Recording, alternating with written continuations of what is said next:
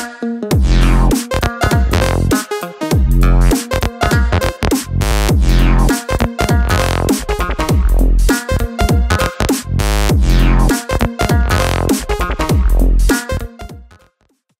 everyone. This is Marsilda Bialczak, the founder of Expand2Market. And today, uh, for our YouTube channel, we're doing a YouTube tutorial on ProspectIn and Piva and how to use both these extensions, not to only automate your LinkedIn connection, relationship building, but also get clients from it.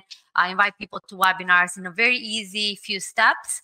And today I have with me Oltin Chikani, the founder of Chikani Realty Group. Oltin, if you want to introduce yourself really quick. Hey guys, this is Oltin Sakani. So I'm the founder of Sakani Realty Group. I'm an active real estate investor and I'm also a realtor in the state of Massachusetts. Yeah, this is the first training for me. So I'm still a newbie at this. So I'm going to have Marsilda explain everything and go through it. So we, the example of today is going to be more about real estate. Um, so you know, you you can still customize it based on your industry, your location. But my goal is to just give you a quick overview on ProspectIn first, and also Piva how to navigate, and then we'll start doing some actual examples at the end of the video. That how do you actually start send messages and automation, or even just connections so, you know, it's just for easier, uh, easier steps. So you guys don't have to always be on LinkedIn all the time, uh, but you can do all this in automation and take action when needed. So with that said, I'll share my screen really quick. So this is ProspectIn. You're able to see my screen, right? Yep. So after you download ProspectIn is as an extension, it should be showing on the top of your toolbar and you log in. Then uh, basically this is what you see. This is a dashboard on the dashboard, uh, you have different uh, analysis you can see right away. So these are all your um, people you have been connected on LinkedIn. So he, he, basically connects with your LinkedIn account and any data that you um, take from there, it will upload here. And I'll show you guys how to do that really quick. But basically gives you like actions and how many people um, maybe has visited your site and the next 90 days. And then also different actions, right? So like, you know, if I put some type of like timeline here, on let's say I want to know on a certain campaign how it did, I can just click and it'll show me maybe how many people from that campaign connected with me, messaged me, and so on. Here's where all our campaigns are going to live. And we do different campaigns, uh, not only for us, but also our clients. So it's better for you to always make sure when you create a campaign to give it a really good name that you know exactly what the campaign is about and maybe even certain features or filters that you did to make sure it gives you like a hint of what the campaign is about. And the queue, just to explain the queue, is a little bit complicated, not and not a lot of people understand the queue. So ProspectIn, we're using the free tutorial right now, the free version rather, um, to make sure that you guys understand that ProspectIn is also a paid tool. But to just get started, to get the hang of it, you can use the free version. Uh, it gives you 100 queues, almost like 100 points. So when I start a campaign, I can only do 100 queues at a time. So I have to wait for those 100 actions to be completed. If it's sending connections, if it's sending like maybe messages, once the messages get accepted by people, you almost retrieve those messages back on LinkedIn. So you know those people accepted this action. When this queue is empty, you can just go in and load. And I'm going to show all of this, how to do it very soon. So here is also shows prospects, which is uh, accounts or actions that I have on my campaign. So look, I have a lot of prospects, but it doesn't mean all of them are part of one campaign. It can be a total of all my campaigns. So if you need like, you know, if you're basically able to have an entire team to work with you, you can also add members, give them different access you know what they're able to do similar to like all your social media channels where you give them different admin access. And you know the others you know we don't really need them. But the cool thing with ProspectIn you can also see demos provided by the ProspectIn team on YouTube or even right here. Uh, I just, I'm like a, a, person more like on the hands on. So that's why I thought uh, might be easier for me to give a training to Oltin based exactly on his industry and what, what his goals are. So with that said, before we, we start, let's start with the campaign. So the campaign for today will be, uh, what is your goal, Oltin? You want to connect with other realtors, right? On LinkedIn? Yeah. Yeah. So just hiring uh, agents on my, on my team.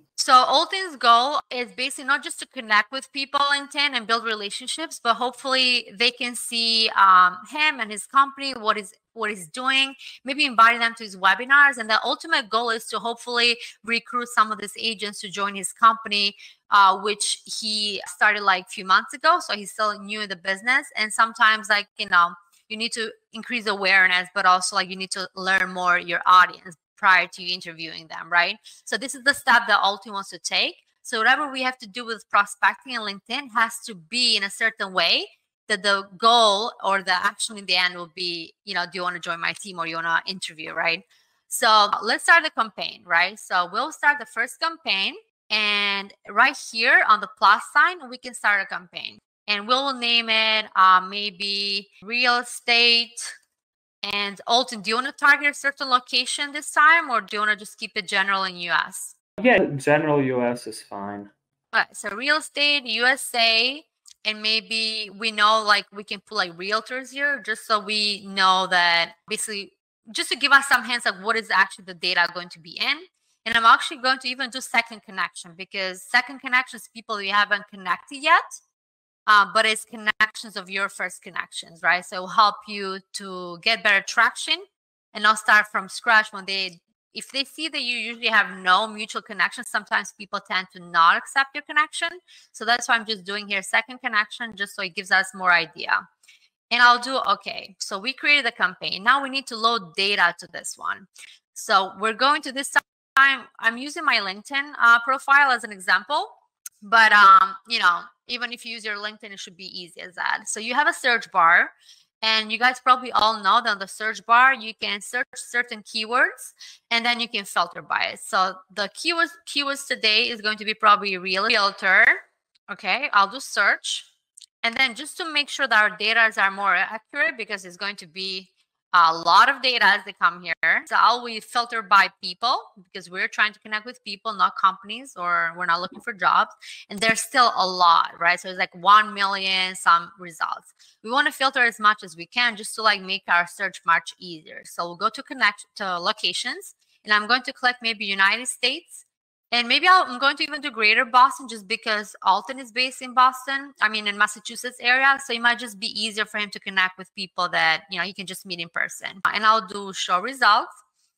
And it's still going to show us a lot of results, right? You see, like it didn't do much, right? There's still yeah. a lot of connections. So let's filter by just second connection, just to show you like all the connections. You see, like we trimmed it down to 13,000 results we can still all go to all filters and maybe see like uh, if there's a certain you see exp so, realty quick question so the yes. first we don't check the first connections on here well your first connection is people you already connected oh, people right? that already see my account right okay. yeah so that's why usually you want to connect with second or third because you're trying gotcha. to like connect with new people and grow your following but also message new people yeah. But you with Prospect, you can also just message your first connection. If you're doing some type of like uh, campaign through LinkedIn messaging, you can just do first connection. If let's say you want to invite your actual connections to a webinar.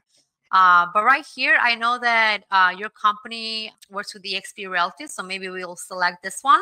Or do you want to just keep it general? Well, well no, it has to be non-EXP because if they're already on EXP, then I okay. can't really add them to my team. So it has to be out um, anything anything but EXP basically.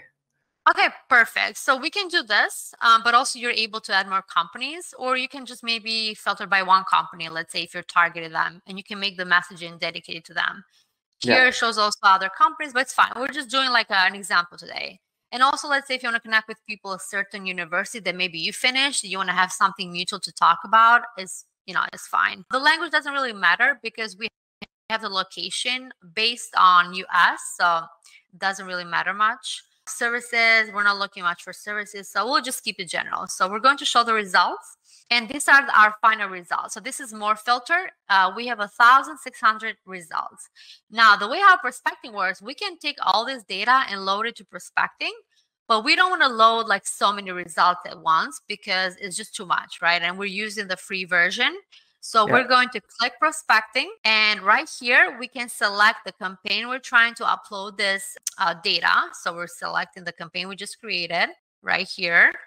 And ProspectIn it gives you usually a minimum number. I think is a thousand. So I think I'll just keep it a thousand, you know, total. Or uh, if we want to load it more faster, let's start with maybe 500, just to like so we don't have to wait all day here to load. We do validate, and then it's going to just load. While we load this, Altin, I don't know if you have any questions meantime, this will take a while. Or do you want me maybe to just load 200 just like for the example? Yeah, I mean, we can load like 10. It doesn't matter, I think. Okay, so let me just stop it. But was it clear until here or?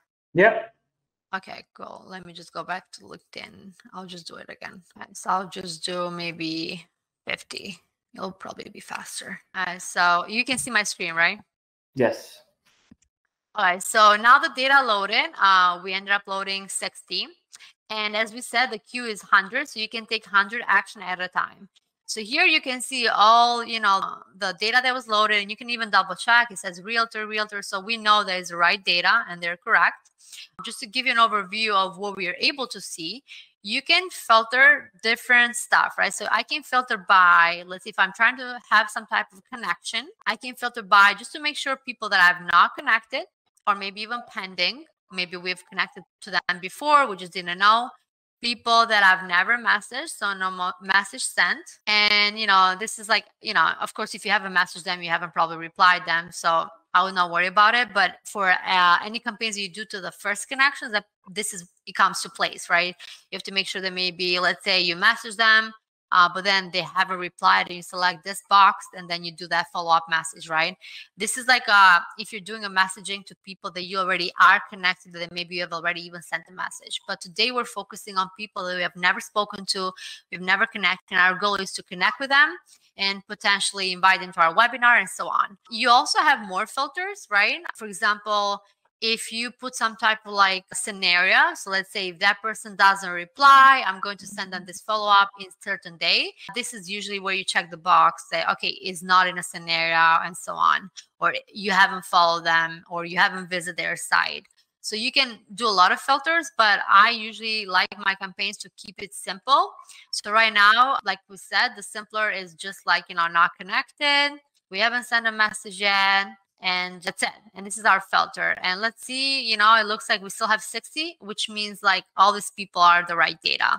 Now right here you can even just visit your site like this is how cool it is. So let's say if i'm selecting everybody i can just choose to just visit and use my actions to visit. Usually the visit you know how we get like a notification that let's say alton saw your profile and you can see their face. It's just almost like a curiosity that people be like oh let me see who this person is that is actually checking my profile is good.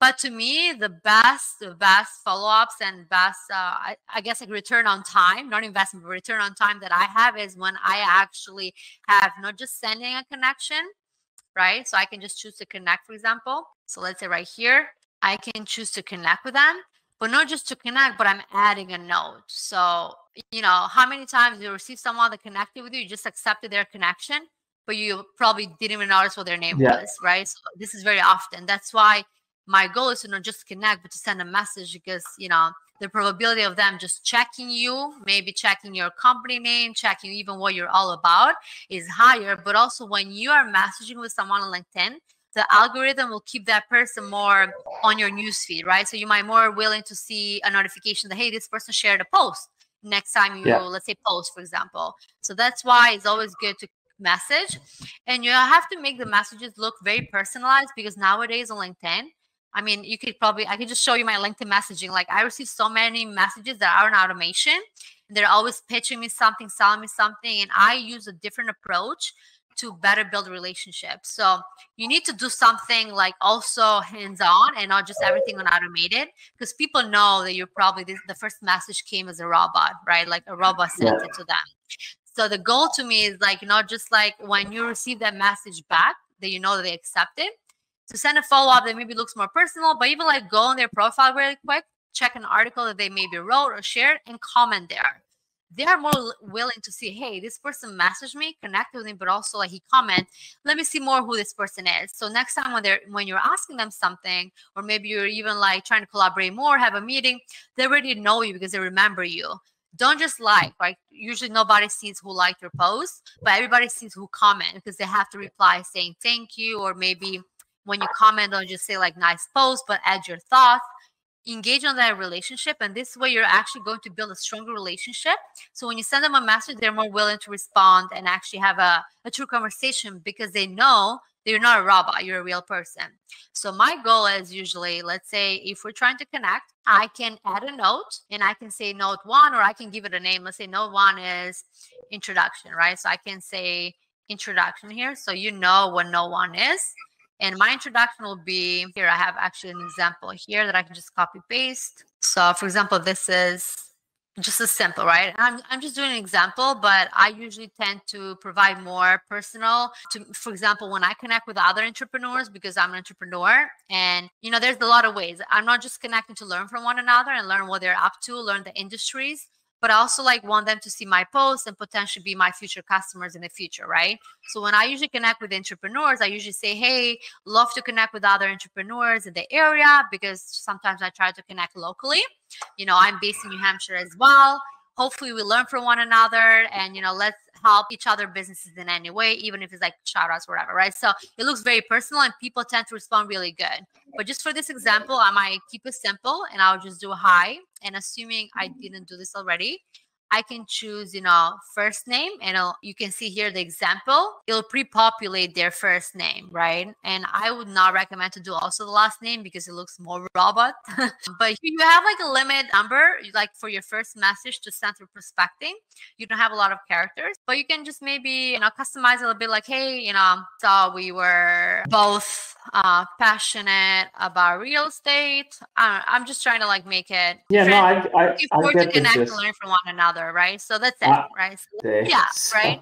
Uh, but the goal is, you know, yes, you got the first message. They might not twice, but the goal is, which not a lot of people are doing, and they're still missing out, especially people in sales. They're missing out on this is because they're not building true relationship. If I saw that you accepted my connection, I'm going to go to their profile and find out an article they wrote or something for me to like follow up to see that hey, I'm not a robot. I'm actually really care about what you're about to post. I really care about your article and so on because they'll remember you. And then also in your newsfeed itself is you're going to see them more often.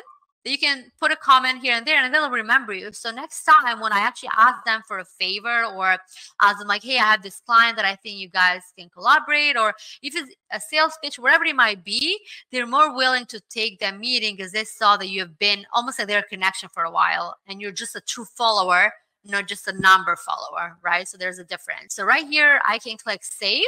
And for me to send this, I can literally just do select 60 or however I want to do. Usually allows me to do 100 at a time. So assuming this will be 160, I would have mm-hmm. just selected 100 here, okay? And I can just do save and send. I'm not going to send it right now because it's my profile and I, I'm not actually as passionate as you on real estate.